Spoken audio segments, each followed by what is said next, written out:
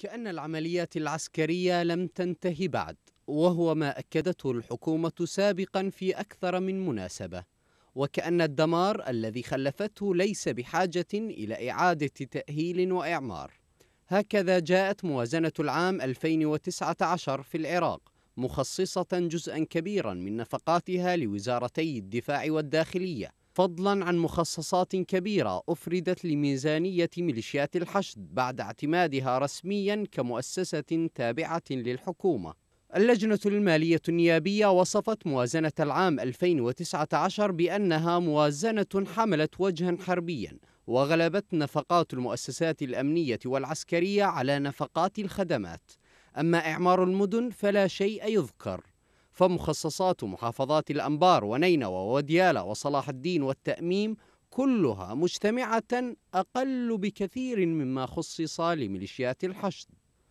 وعلى العكس تماما فقد زيدت مرتبات أفراد هذه العصابات بواقع 24% في الموازنة الجديدة رغم انتفاء الحاجة المفترضة لهؤلاء المسلحين البالغ عددهم 122 ألف عنصر.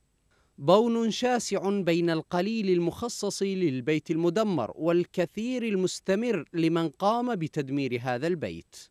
الوجه الحربي ليس العلة الوحيدة في الموازنة الجديدة فثمة علل كثيرة أحصت اللجنة المالية منها 47 وقدمتها إلى الحكومة من أجل تعديلها. وبعد 25 يوما جاء الرد الحكومي بتعديل تسع فقط ورفض البقية. وزيادة في إنهاك العراق بالديون الخارجية لجأت الحكومة إلى الاقتراض من 21 جهة خارجية لإتمام كلفة الموازنة ومع ذلك كله بلغ عجزها 27 تريليون دينار شوائب وتناقضات كثيرة تحيط بالموازنة الجديدة تطرح حولها كثير من التساؤلات أين ذهبت مقدرات البلاد ليضطر العراق إلى الاقتراض الخارجي؟ وما معنى وصف العمليات العسكرية بحرب التحرير إذا كانت المناطق المدمرة وساكنوها في غياهب الإهمال المتعمد؟